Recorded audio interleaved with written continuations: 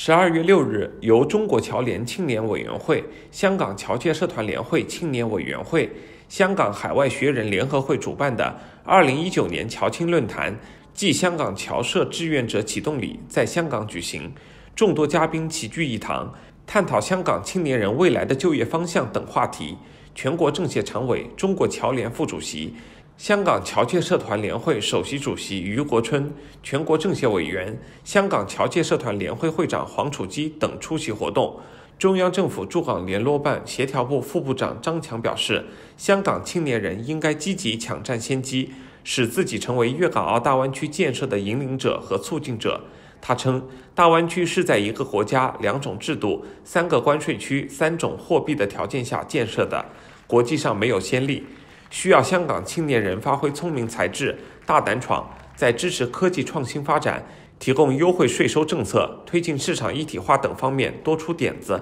开辟出一条新路。在参与粤港澳大湾区建设的过程中，香港可谓近水楼台先得月，理应抢占商先机，率先投入。粤港澳三地各有优势，但香港参与大湾区建设的主场位置和主角地位十分突出，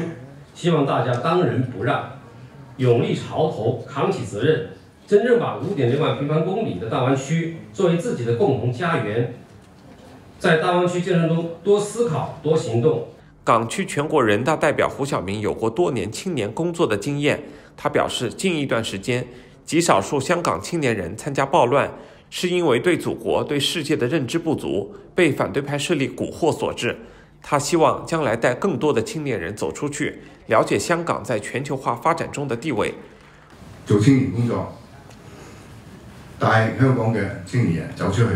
擴闊視野、擴闊思想，令佢哋知道我哋香港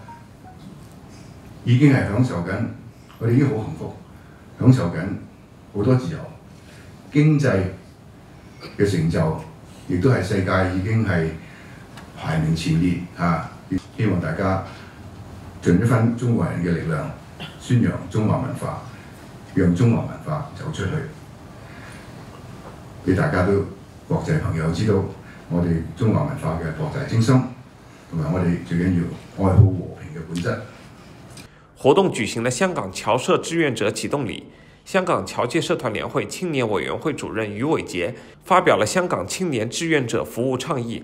他希望香港青年把握共建“一带一路”、粤港澳大湾区建设等重大机遇，着眼国家所需，发挥香港所长，在发展个人事业、成就梦想的同时，服务和回馈社会，在新时代为香港和祖国做出新贡献。